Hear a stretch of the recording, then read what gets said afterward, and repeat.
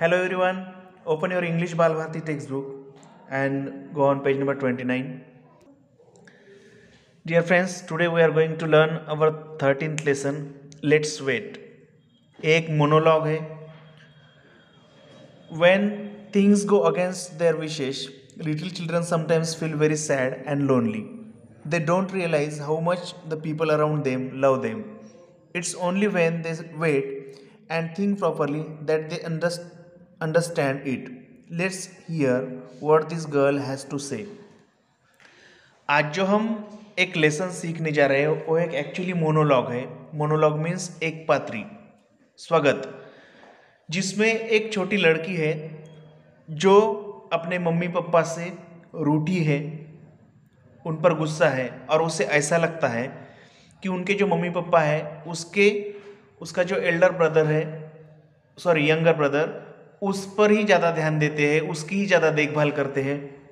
और उस पर जो लड़की गुस्सा है ना, उसको लगता है कि उस पर कोई भी ध्यान नहीं देता, वो अकेली ही रहती है, कोई स्वीट लाते हैं तो उसको ही सब महत्व देते हैं इंपॉर्टेंस देते हैं। ऐसा उसको लगता है, लेकिन जब खुद ही वो सोचती है, उसका भाई उसके पास आता है, खुद ही वो जब सोचती है तो उसको पता चलता है लास्ट में वो उसका एटीट्यूड खुद ही चेंज हो जाता है। तो किस तरह से वो अपने मन से बातें करती है और मन में सोचती है, वो हमें देखना है। This is the worst day of my life I am feeling very sad you may not believe it but I am the saddest person on this earth वो क्या कहती है? कि आज का दिन मेरे लिए सबसे, मेरे पूरे जीवन में का सबसे वर्स्ट यानी सबसे सैड दिन है। आज मुझे बहुत ही दुख हो रहा है और आप भरोसा नहीं रखोगे मैं दुनिया में की इस पृथ्वी पर की सबसे दुखी गर्ल हूँ। The reason is that nobody loves me I have a family mummy daddy granny and a younger sister I have been sitting here behind this sofa for a whole day okay for last eight hours all right all right, at least an hour, at least 10 whole minutes, and no one वो क्या कहती है कि मुझे एक छोटी, उसकी younger sister है, उस पर ही सब लोग ध्यान देते हैं। मुझे मम्मी है पापा है, दादा, दादी है, लेकिन मुझ पर कोई भी ध्यान नहीं देता। सब उसको ही देखते हैं, उसकी देखभाल करते हैं, उसकी केयर करते हैं। देखो ना अभी मैं इस सोफा के पीछे पहले क्या कहती है कि एक दिन हुआ, फिर वो चेंज करती है। नहीं नहीं, एक दिन नहीं, आधा, आठ घंटे हो गए। आठ घंटे से फिर वो एक घंटे पर आती है और बाद में बोलती है, देखो ना, दस तो मिनट हुए होंगे, मैं इस सोफा के पीछे बैठी हूँ, लेकिन किसी को भी कुछ लेना देना नहीं। किसी ने मेरे तरफ़ ध्यान नहीं दिया। वो खुद ही रूट के दस मिनट पहले बैठी है और मन में सोच रही है कि एक दिन हो गया, आठ दिन हो गए, एक घंटा हो गया और लास्ट में एग्री होती है कि दस मिनट तो भी हुए, लेकिन कोई किसी ने भी नोटिस नहीं किया। नेक्स्ट, आगे देखिए क्या होता है। They are all interested only in my sister और वो सब मुझमें इंटरेस्टेड नहीं, मेरी छोटी जो सिस्टर है कि नहीं, वही सबको अच्छी लगती है। Even when she cries for no reason they all rush to her pick her up and give her whatever she wants जब वो बिना काम का रोती है, तब भी सब उसके पास जाते हैं, क्या हुआ बेटा? क्या हुआ बेटा? ऐसे पूछते हैं। सब उसको उठा के लेते हैं और उसको जो भी चाहिए रोते वक्त, वो सब देते हैं, लेकिन मुझे कोई नहीं पूछता। I should really go away and live some live in some interesting places, I think I will become hermit and wander in mountains and forest. मुझे तो ऐसा लगता है कि मुझे ऐसा करना चाहिए मैं कुछ ऐसे इंटरेस्टिंग प्लेस पर जाऊँगी कि और मुझे बनना क्या है उसको? हर्मिट मीन्स क्या? सन्यासी साधु सन्यासी जो सब छोड़ के जंगल में जाते हैं। मैं तो मुझे ऐसा लगता है कि मुझे मुझे तो सन्यासी बनना चाहिए और जंगल में पहाड़ों में घूमना चाहिए। I will eat the fruit on trees and make friends with birds and animals मैं जाऊँगी, जंगल में जाऊँगी क्योंकि मुझसे कोई प्यार नहीं करता, कोई अच्छा नहीं बोलता ना।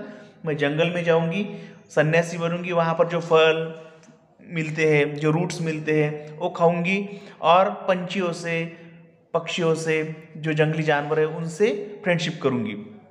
अब ये उसके सब मन के विचार है, क्योंकि वो सैड है मम्मी पापा नहीं बोले, ऐसा उसको लगता है और वो मन में सोच रही है इस तरह का। Or I could ride away on camel and live in desert.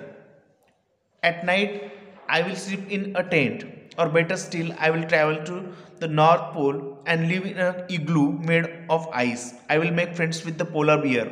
उसको फिर लगता है वो चेंज करती है अपना एटीट्यूड अपना थिंकिंग बदलती है वो क्या कहती है कि मैं कैमल पर बैठूँगी और रेगिस्तान डेजर्ट मीन्स क्या रेगिस्तान रेगिस्तान में जाऊँगी रात को बना मेरे बनाए हुए टेंट के घर में सोऊँगी।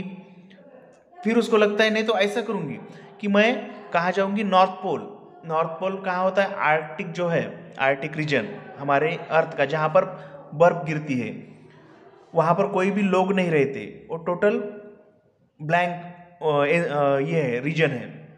तो मैं नॉर्थ पोल पर जाऊँगी और इग्लू, जो बर्फ़ का बना हुआ घर रहता है, वहाँ पर के लोग उसको यूज़ करते रहने के लिए, इग्लू कहते हैं उसे। घर का नाम है।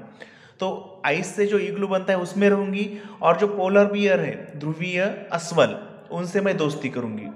ऐसे उसके मन के विचार, ये करूँगी, वो करूँगी, ऐसे कह रही है। Next page what's that something soft against my back oh it's baby what are you doing here you silly go away don't smile at me why do you follow me is there body else in the house to look after you अभी वो ऐसा सोच ही रही थी कि एक कुछ तो भी सॉफ्ट जो टच है, उसको उसके बैक पर, पीठ पर ऐसा लगा कि कोई आके उसको हाथ लगाया।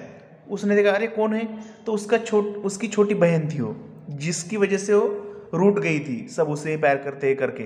तो उसने कहा, अरे, कौन है? जाओ यहाँ से, मुझ पर मत हंसो और मेरे पीछे भी मत आओ। यहाँ पर जो टी सी एच है कि नहीं, हम ऐसा कहते हैं ना कि जब हमें कोई पसंद नहीं होती चीज़, तब तो ये है, जो टी सी एच है और वो एक्सलेमेशन के लिए यूज़ किया जाता है सडन फीलिंग एक्सप्रेस करने के लिए। तो उसने कहा कि, जाओ, मेरे पास मत आओ और मेरे पर, मुझ पर हंसो भी मत। Don't come here you may bump into something and I will get all the scolding why do you have to do everything that I do copy cat और तुम्हें ऐसा क्यों लगता है कि मैं जो करूँगी वह तुझे भी करना है? मैं इस सोफा के पीछे आई हूँ तो तू भी आई है। ऐसा क्यों है? कॉपी कैट है तू, मेरी ही कॉपी करती है। तू यहाँ पर गिरेगी और सब मुझे चिल्लाएँगे। स्कॉल्डिंग मीन्स चिल्लाना, गालियाँ देना। मम्मी पापा मुझे गालियाँ देंगे, कहेंगे कि तू इसके, इसको यहाँ पर क्यों लेके आई? ओ never mind really the people in this house they should look after her better I am a grown up girl now I can manage on my own but what about this little baby come baby let's crawl out from here और ऐसा वो गुस्से से उस उसके छोटे बहन को बोल ही रही थी कि उसके मन में और विचार चेंज हो गए। उसकी थिंकिंग बदल गई। उसने कहा सोचा अरे मैं तो बड़ी हो गई हूँ। अभी तू तो छो, छोटी है। मैं मेरी देखभाल कर सकती हूँ लेकिन तेरा कौन करेगा? इस घर के लोगों को तो कुछ लेना देना नहीं है।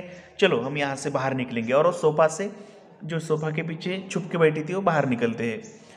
When I go away I will take you with me और you will keep crying for me all the time उसने कहा, जब मैं यहाँ से जाऊँगी ना, मुझे जाना कहा है?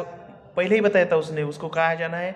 नॉर्थ पोल जाना है डेजर्ट में जाना है फॉरेस्ट माउंटेन में जाना है।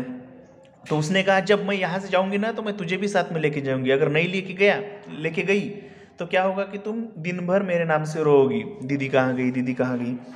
And they won't even guess what the matter is with you और इतना होने के बावजूद भी हमारे जो पेरेंट्स हैं, मम्मी, पापा ग्रैनी ग्रैंड है, वो नहीं समझ पाएँगे कि तुझे क्या हुआ है।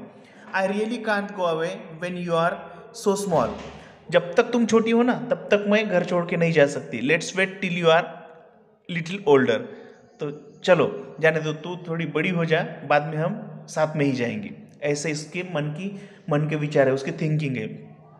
आपको भी ऐसा लगता होगा कि आपके घर पे जब आपसे यंगर ब्रदर सिस्टर होते हैं तो आपके मम्मी पापा उनकी थोड़ी ज़्यादा देखभाल करते हैं, उनका सुनते हैं। तो आपको भी इस तरह के जो थिंकिंग है, आपके मन में भी, मन में भी आ सकते हैं, है ना?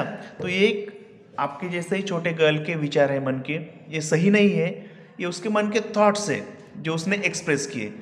Okay friends our lesson ends here and question answer related to this lesson we will see in next video जो क्वेश्चन आंसर है, हम नेक्स्ट वीडियो में देखेंगे. Thank you